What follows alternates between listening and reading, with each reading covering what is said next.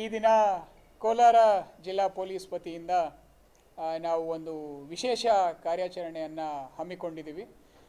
ಕಳೆದ ನಾಲ್ಕು ದಿನಗಳಿಂದ ಇಡೀ ಕೋಲಾರ ಜಿಲ್ಲೆಯಲ್ಲಿ ನಾವು ಈ ಸೈಲೆನ್ಸರ್, ಕರ್ಕಶ ಸೈಲೆನ್ಸರ್ ಡ್ರೈವನ್ನು ಹಮ್ಮಿಕೊಂಡಿದ್ವಿ.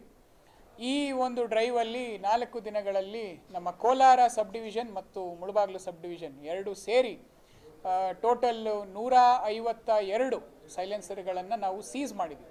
ಇವೆಲ್ಲ ಅಬೌವ್ ಪರ್ಮಿಸಬಲ್ ಲಿಮಿಟ್ ಏನು ಡೆಸಿಬಲ್ ಲಿಮಿಟ್ ಇದೆ, ಅದರ ಮೇಲ್ಗಡೆ ಯಾವ್ಯಾವ ಫಂಕ್ಷನಿಂಗ್ ಮಾಡ್ತಾ ಇತ್ತು, ಅವನ್ನ ನಾವು ಸೀಸ್ ಮಾಡಿಕೊಂಡು ಪರ್ಮಿಷನ್ ತಗೊಂಡು ಇವಾಗ ಅದನ್ನು ಡಿಸ್ಟ್ರಾಯ್ ಮಾಡಿದ್ದೀವಿ ಒಂದು ರೋಡ್ ರೋಲರ್ ಮುಖಾಂತರ.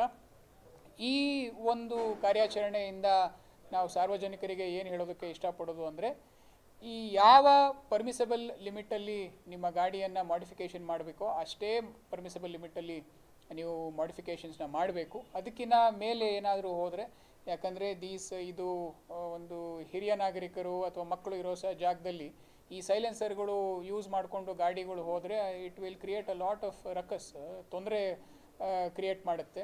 ಅವ್ರಿಗೆ ಕೇವಲ ಮಾನಸಿಕ ಅಲ್ದಲೇ ಅವ್ರಿಗೆ ಕೆಲವು ಸರ್ತಿ ಅವು ಸಡನ್ನಾಗಿ ನಿಟ್ಟು ಬೀಳೋದು, ಆಮೇಲೆ ಹಾರ್ಟ್ ರೇಟ್ ಸಡನ್ನಾಗಿ ಜಾಸ್ತಿ ಆಗೋದು, ಇದೆಲ್ಲ ಕೂಡ ನಾವು ಹಿರಿಯ ನಾಗರಿಕರಲ್ಲಿ ಮತ್ತು ಸಣ್ಣ ಮಕ್ಕಳಲ್ಲಿ ಇದನ್ನು ನಾವು ಅಬ್ಸರ್ವ್ ಮಾಡಿದ್ದೀವಿ ಅದಕ್ಕೋಸ್ಕರನೇ ಜನರಲ್ಲಿ ನಾವು ವಿನಂತಿ ಮಾಡ್ಕೊಳೋದು ಎಸ್ಪೆಷಲಿ ಈ ಹುಡುಗರು ಯಾರು ಇದನ್ನೆಲ್ಲ ನೀವು ಒಂದು ಅಭ್ಯಾಸವನ್ನು ಬೆಳೆಸ್ಕೊಂಡಿದ್ದೀರಾ?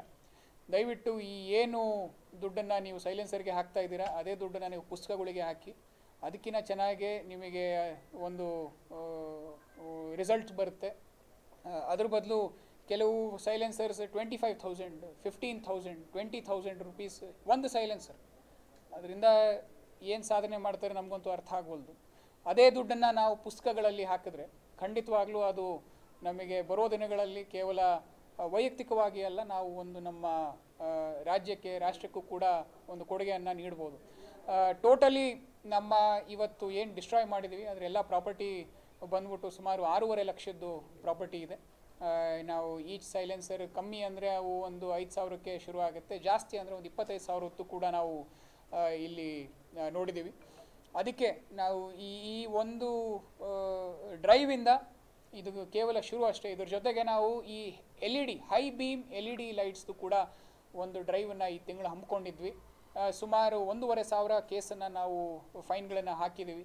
High beam L E D ಹಾಕೋದ್ರಿಂದ ವಾಹನ ಚಾಲ ಚಾಲಕರಿಗೆ ಯಾರು ಎದುರುಗಡೆ ಬರ್ತಾ ಇರ್ತಾರೆ, ಅವ್ರಿಗೆ ಇದು ಒಂದು ದೊಡ್ಡ ತೊಂದರೆ ಆಗುತ್ತೆ. ಕೆಲವು ಸರ್ತಿ ರೋಡ್ಗಳೇ ಕಾಣೋದಿಲ್ಲ.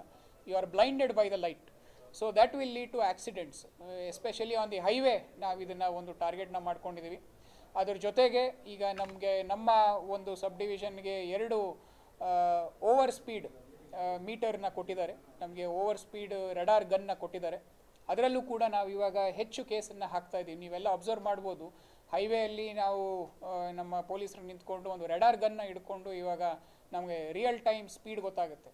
ಸೊ ನಮ್ದು ಏನು ಹೈವೇಯಲ್ಲಿ ಪರ್ಮಿಸಬಲ್ ಸ್ಪೀಡ್ ಲಿಮಿಟ್ ಇದೆ, ಆ ಸ್ಪೀಡ್ ಲಿಮಿಟನ್ನು ತಕ್ಕಂಗೆ ಅವರು ಗಾಡಿಯನ್ನು ಚಾಲನೆ ಮಾಡಬೇಕು. ಇಲ್ಲಾಂದರೆ ಅವ್ರಿಗೆ ನಾವು ನಿಲ್ಲಿಸ್ಬಿಟ್ಟು ಒಂದು ಫೈನ್ನ ಹಾಕ್ತಾ ಇದ್ದೀವಿ.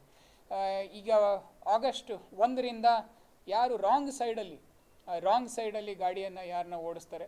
ಅವ್ರ ವಿರುದ್ಧ ನಾವು ಒಂದು ಮೊದಲನೇದಾಗಿ ನಾವು ಫೈನ್ ಕಟ್ಟೋದು, ನಂತರ ನಾವು ಎಫ್ ಐ ಆರ್ನೇ ಮಾಡೋದನ್ನು ಒಂದು ಪ್ರಕ್ರಿಯೆಯನ್ನು ಇವಾಗ ಶುರು ಮಾಡ್ಕೊತಾ ಇದ್ದೀವಿ ಇದು ನಮ್ಮ ಮಾನ್ಯ ಡಿ ಜಿ ನಗಿ ಸಾಹೇಬರ ಆದೇಶ ಆಗಿದೆ.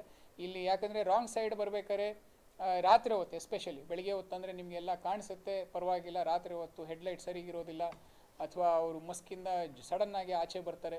ಇದನ್ನು ಅವಾಯ್ಡ್ ಮಾಡೋದಕ್ಕೆ, ಪ್ರಾಣ ರಕ್ಷಣೆ ಮಾಡೋದಕ್ಕೆ ನಾವು ಈ ಒಂದು ಕಾರ್ಯಾಚರಣೆಯನ್ನು ಪ್ಲ್ಯಾನ್ ಮಾಡ್ಕೊಂಡಿದ್ದೀವಿ ಇದೇ ರೀತಿ ನಾವು ಸಾರ್ವಜನಿಕರಿಗೆ ಒಂದು ಸ್ವಲ್ಪ ಎಚ್, ಎಚ್ಚೆತ್ತು ಟ್ರಾಫಿಕ್ ರೂಲ್ಸ್ನ ಕರೆಕ್ಟಾಗಿ ಫಾಲೋ ಮಾಡಿ.